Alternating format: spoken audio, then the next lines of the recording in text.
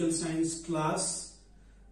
Lesson 1 French Revolution has already been completed. So today we'll start with history chapter 2 that is socialism in Europe and the Russian Revolution. Now you require revolutions whenever a big change has to come in the society in the world. Alright, so we learn about Russian Revolution here and we learn about this ideology, this new ideology, new thinking about socialism. Socialism, a thinking where it is said that the means of production should be owned by the community as a whole. The profit should be distributed among the members of the community so that everyone gets equal share in everything. No one is rich, no one is poor. So that ideology, how it came in Europe, what happened, how the Russian Revolution started in 1917, all this we are going to learn and understand in this chapter. We'll also learn about the liberals, radicals, conservatives. They were already there. Then came the socialists with their new method of thinking, new form of society, which is based on socialism. So we'll read about all these things in this chapter. So take out your book and be ready. Socialism in Europe and the Russian Revolution. The age of social change. In the previous chapter, you read about the powerful ideas of freedom and equality that circulated in Europe after the French Revolution. The French Revolution opened up the possibility of creating a dramatic change in the way in which society was structured. So the French Revolution, it brought about a big change in the society. You know the society in France, it was in three estates, divided in three estates, first estate, second estate, third estate the king and the clergy being on the top, enjoying all the privileges. The third estate, the common people had to suffer a lot. All this was there. With the French Revolution, changes came. As you have read, before the 18th century, society was broadly divided into estates and orders and it was the aristocracy and church which controlled economic and social power. Already done in French Revolution. Suddenly, after the revolution, it seemed possible to change this. In many parts of the world, including Europe and Asia, new ideas about individual rights and who controlled social power began to be discussed. So, after the revolution, people started thinking that yes, change can come. And then people started discussing about things, how economy can be changed, how society can be changed, how things can be changed everywhere.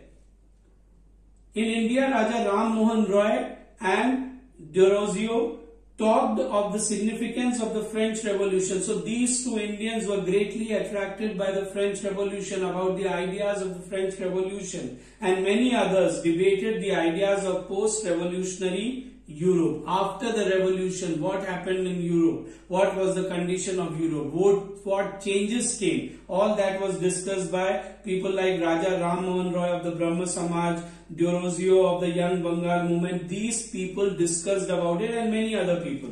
The developments in the colonies in turn reshaped these ideas of societal change. So, what was happening in Europe? What happened in French Revolution? What changes came in Europe after that. These changes were affecting the minds of people like Raja Ram Mohan Roy and Derozio and when it was affecting the minds of such type of people, then changes were also coming in the colonies, the colonies, the countries which were ruled by the foreign powers. Not everyone in Europe, however, wanted a complete transformation of society. We have read this also. Everyone did not want change.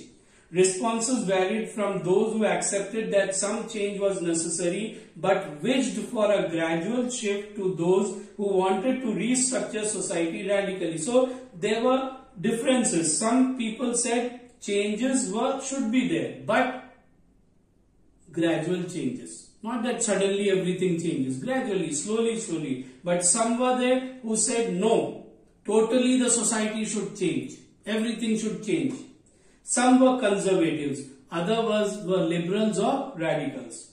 What did these terms really mean in the context of the time? And these terms, the meaning of these terms change according to the time. So at that time, what did these terms mean? What separated these strands of politics and what linked together? So how they were different, how they were similar. We must remember that these terms do not mean the same thing in all contexts and in all times. We will look briefly at some of the important political traditions of the 19th century and see how they influenced change. So that is what we are going to see. What traditions were being followed and how changes came. Then we will focus on one historical event in which there was an attempt at a radical transformation of the society. And then after that we'll go on to an important historical event which was an attempt to bring about a total change in the society. And that event is the Russian Revolution. Through the revolution in Russia, socialism became one of the most significant and powerful ideas to shape society in the 20th century. So with the Russian revolution, socialism emerged and it became the most important change that can come in the society in the 20th century. First we'll do about the liberals, radicals and conservatives. One of the groups which looked to change society were the liberals. Liberals wanted a nation which tolerated all religions. So what all things they wanted? Liberals. First thing, a nation where all religions are tolerated. People are free to follow their religions and they tolerate one another's religion. We should remember that at this time, European states usually discriminated. There was discrimination in favor of one religion or the other. Like in Britain, the Church of England was favored, while in Austria and Spain, the Catholic Church was favored. Liberals also opposed the uncontrolled power of dynastic rulers. They were against the uncontrolled power, the unlimited power that was there with the kings in the hands of the king. They were against it also. They wanted to safeguard the rights of individuals against government and they said every individual should get their rights government should not have total control on the individuals. They argued for a representative elected parliamentary government and they said that the government should be representative. Representatives elected by the people should form the government. A parliamentary government should be there, subject to laws interpreted by a well-trained judiciary and laws should be made and understood by the judiciary that was independent and this judiciary should not be under the control of the rulers or the officers. It should be independent judiciary. However, they were not Democrats. So they were liberals but they were not Democrats. Why they were not Democrats? Because they did not believe in universal adult franchise, voting rights to all adults. They did not believe in that. That is the right of every citizen to vote. They felt men of property mainly should have the vote. They also did not want vote for women. So the liberals believed that voting rights should only be with men who had property and women should never get voting rights. These are some of the things which the liberals believed and they laid stress on.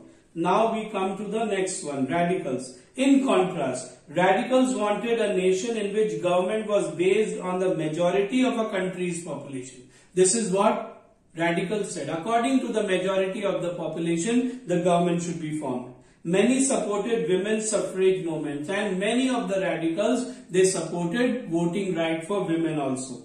Unlike liberals, they opposed the privileges of great landowners and wealthy factory owners.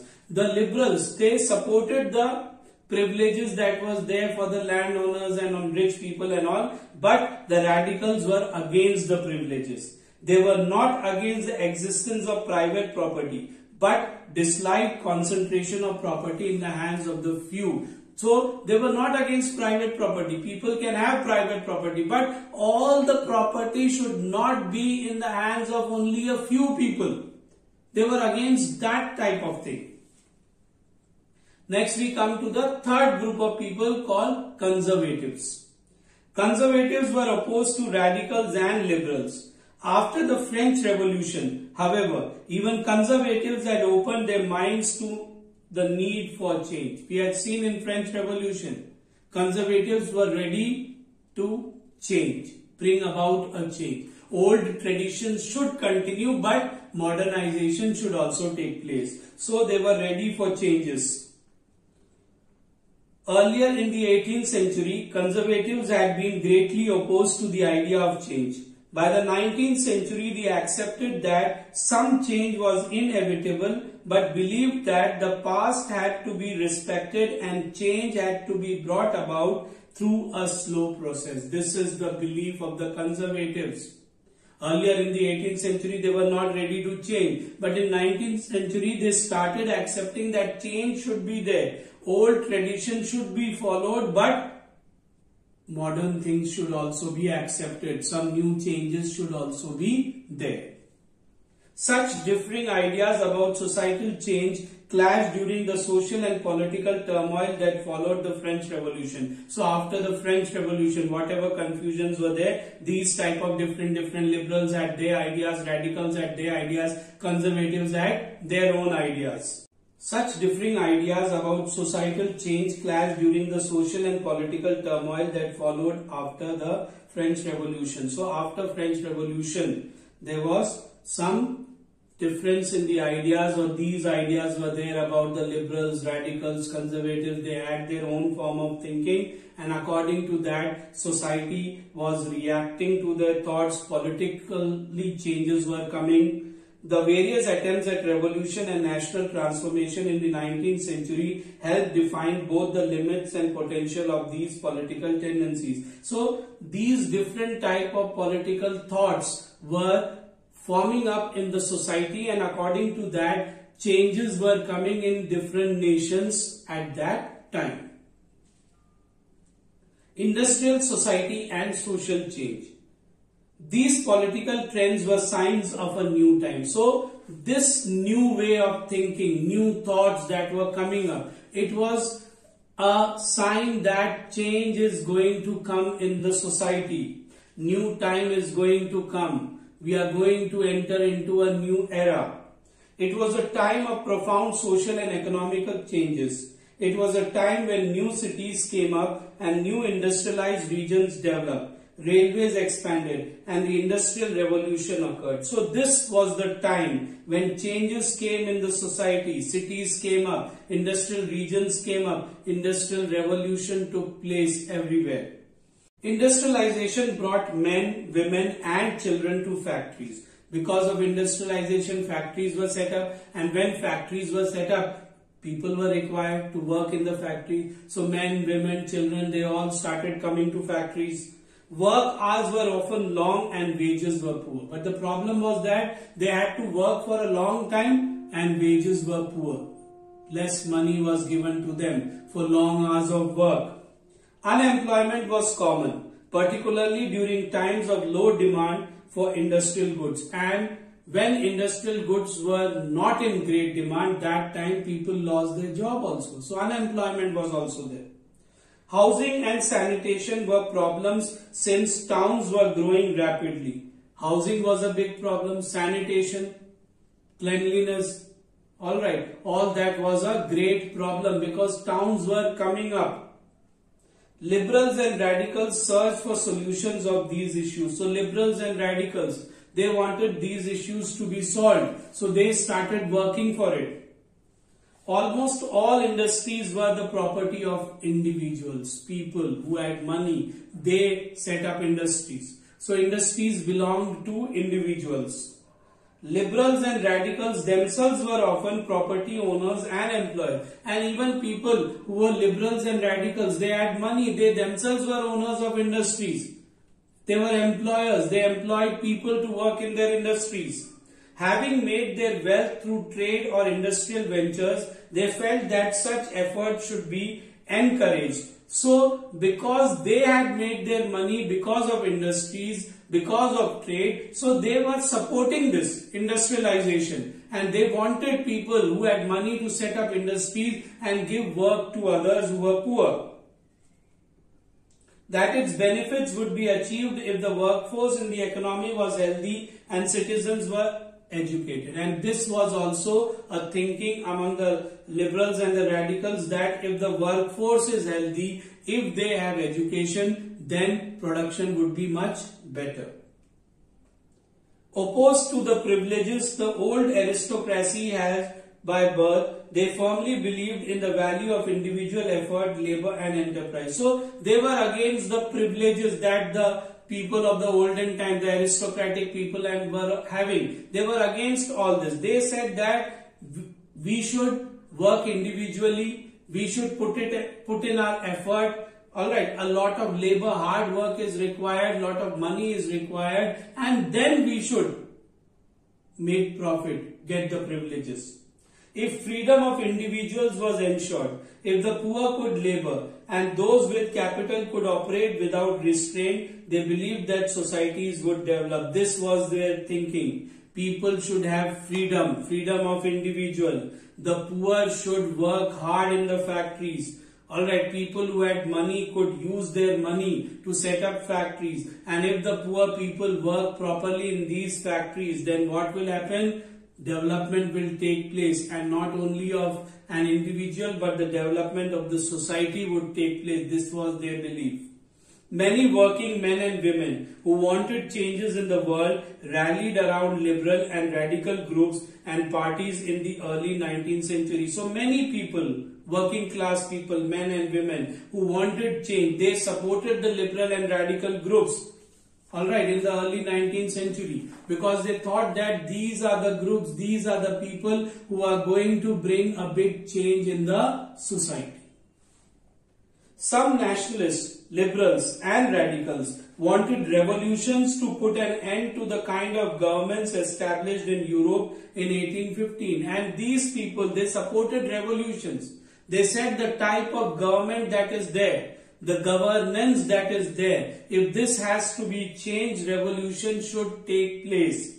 In France, Italy, Germany, Russia, they became revolutionaries and worked to overthrow existing monarchs. So radicals and liberals, they became revolutionaries in these countries in order to remove the monarchs, the kings, bring an end to the rule of the monarchs. Nationalists talked of revolutions that would create nations where all citizens would have equal rights. And what the nationalists said? There should be revolution and with the revolution monarchical government would come to an end and nations would be created where all citizens would have equal rights. After 1815, Giuseppe Mazzini, an Italian nationalist, conspired with others to achieve this in Italy. So in Italy, this Italian nationalist Giuseppe Mazzini, he conspired, he planned with other revolutionaries to bring a change in Italy, make Italy a nation state. Nationalists elsewhere, including India, read his writings and people, the nationalists all over the world were inspired by his writings. They read his writings in order to understand how to bring about a change in the society, how to create a nation state. The coming of socialism in Europe. Perhaps one of the most far-reaching visions of how society should be structured was socialism. Alright, the correct way of defining what society should be or what should be the structure of the society came with the socialist thinking, came with socialism. By mid 19th century in Europe, socialism was well-known body of ideas that attracted widespread attention. So by mid 19th century, this idea of socialism was there in Europe and people were attracted towards it. Socialists were against private property and saw it as the root of all social ills of the time. They were against private property. They said no, private property should not be there. Private property is the cause of all evils in the society. This was believed by the socialists. Why? Individuals owned the property that gave employment but the property were concerned only with personal gain and not with the welfare of those who made the property productive. So the individuals who had property, they gave employment to others, but they only thought of making profit. They did not think about the welfare of the people who were working. If they were able to make profit, it was because of the hard work of these working class people. But the industrialists, the people who owned the factories, who owned the industries, they were not concerned about the workers. They were only concerned about making huge profits. So if society as a whole rather than single individual control property, more attention would be paid to collective social interest. So what they said, society as a whole should control the property. Property should not belong to a particular individual, but it should belong to everyone, the whole society. Then what would happen?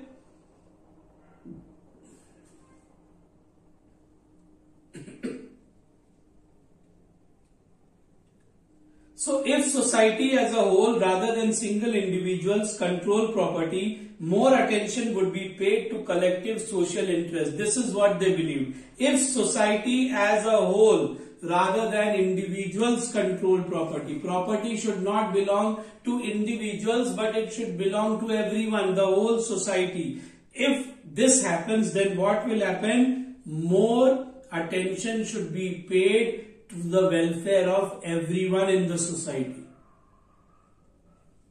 Socialists wanted this change and campaigned for it. So socialists worked for this.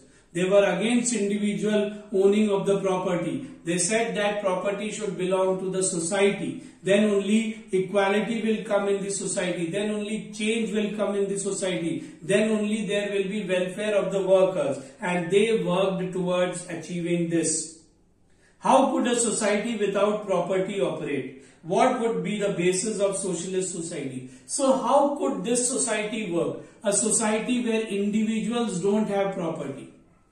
How could a socialist society work? Let's see. Socialists had different visions of the future. Some believed in the idea of cooperatives. They believed in cooperative society where people come together pool in their resources, work together, share the profits among them. Robert Owen, a leading English manufacturer, sought to build a cooperative community called New Harmony in Indiana. So this person, he took initiative. He formed a cooperative community in USA. Other socialists felt that cooperatives could not be built on a wide scale only through individual initiative. They demanded that governments encourage cooperative. They said when individuals take initiative, big cooperatives cannot be formed. Big cooperatives can be formed only when government takes interest in it. So they wanted the government to take interest. In France, for instance, Louis Blanc wanted the government to encourage cooperatives and replace capitalist enterprises. These cooperatives were to be association of people who produce goods together and divided the profits according to the work done by members. Capitalists, the people who bring in their money, set up the factories, they are the capitalists. So they said no, capitalists should not be owning the factories, owning the industries and taking away the profit. This should be replaced by cooperatives where people come together, produce goods together and share the profit among themselves. Karl Marx and Frederick Engels added other ideas to this body of arguments. Marx argued that industrial society was capitalist. He said industrial society is a capitalist society. Capitalists owned the capital invested in factories and the profit of capitalists was produced by workers. So whatever was invested that was owned by the capitalists. That is capital, the money, that is why they are called capitalists. And whatever these capitalists are earning, the profit that they are making, it is because of the efforts of the workers, the poor workers. But the workers are not getting any profit. The condition of workers would not improve as long as this profit was accumulated by private capitalists. So if all the profit is taken away by the capitalists, then the condition of workers would never improve. Workers had to overthrow capitalism and the rule of private property. So workers should overthrow capitalism. Capitalism should come to an end. Marx believed that to free themselves from capitalist exploitation, workers had to construct a radically socialist society where all property was socially controlled. So this was Marx's belief that if workers wanted to free themselves from capitalist exploitation, then property should not be owned by any private individual, but the whole society should control the property. This would be a communist society. Such a society where the property is owned by the society is known as a communist society.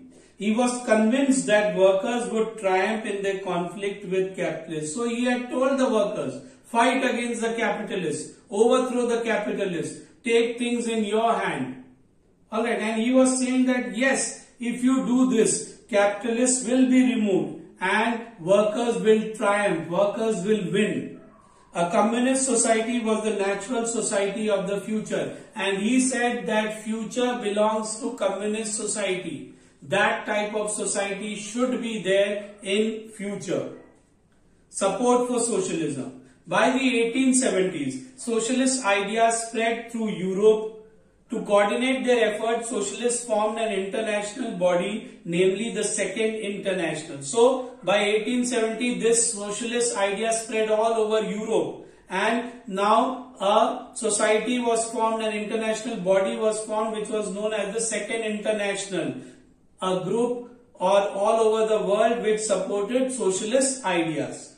Workers in England and Germany began forming associations to fight for better living and working conditions. They started forming associations, groups in order to fight for their rights, better working condition, better living condition. They set up funds to help members in times of distress and demanded a reduction of working hours and the right to vote. They wanted right to vote because property people had the right to vote. So they, they demanded right to vote. They started collecting money, creating funds so that when people are in problem at that time they could be helped. And they said the working hours should be reduced. I told you earlier when industrial revolution started, working hours were very long and wages were less. So they, now they formed groups and they started demanding that working hours should be made less. In Germany, these associations worked closely with the Social Democratic Party and helped it win parliamentary seats. So these associations of workers, they worked with the Social Democratic Party and the power of the workers was so much that this party won many seats in the parliament of Germany. By 1905, socialists and trade unionists formed a Labour Party in Britain and a Socialist Party in France. So in Britain, socialists and people of belonging to the trade union, they formed Labour Party. In France, they formed the Socialist Party. However, till 1914, socialists never succeeded in forming a government in Europe. But till 1914, socialists or socialist parties were not able to form governments in Europe represented by strong figures in parliamentary politics. Their ideas did shape legislation. So, though there were great people who supported socialism, who supported this thinking, socialist thinking, there were very great people in the parliament, in politics, and their ideas even became laws, became rules. But governments continued to be run by conservatives, liberals and radicals. But governments were always formed by either people belonging to the conservatives, liberals or radical group. Socialists were not able to form government till 1914 in Europe. So with this we come to the end of this first part of chapter 2 Socialism in Europe and Russian Revolution. The age of social change. We have completed this and in the next video we'll start with the Russian Revolution. Alright, so you have to go through it, read the chapter once more. I've already explained, go through the video again if you don't understand anything. Alright, and notes I'll give towards the end.